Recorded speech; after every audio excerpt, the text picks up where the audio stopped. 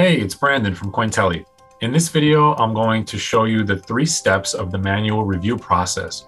I'm going to talk about what each step is, why we need to do it, and also how you can do it. So to begin, from anywhere on your Cointelli uh, profile, click on step three, review. Then scroll down to the bottom and click fix next to the manual review box. From in here, we have our three steps. We'll start with step one, matching internals. This is where you have your transfers between your wallets and your exchanges. Even though they're non-taxable events, you still need to import them and categorize them. So um, because sometimes the exchanges do not give us do not give us enough information in order to categorize it properly, that's why we have this manual review step.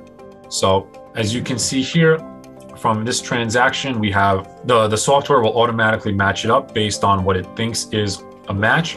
So what you can do is just go and look at it and see if there's a match. So from here on June 20th, 2021, at around, uh, what is that, 2240, we have 0.01 Litecoin coming out of Exodus. And around the same time, a few minutes later, it comes into crypto.com.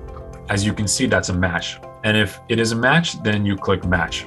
And you just go through each one, one by one, like this. Now we have this great feature called auto match. If you have a very simple transaction list, then this is the one for you. If it's more complicated, then we recommend going through it and looking at it one by one. So let's go ahead and let's try clicking auto match.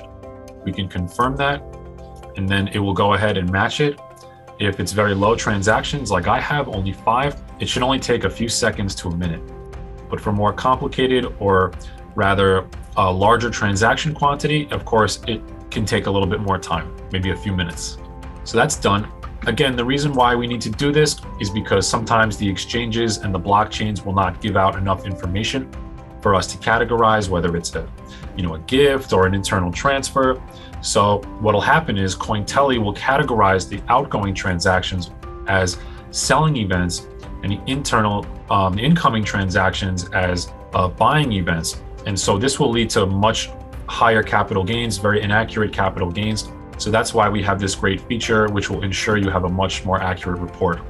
In the next video, we're going to look at how to add the missing transactions. Stay tuned.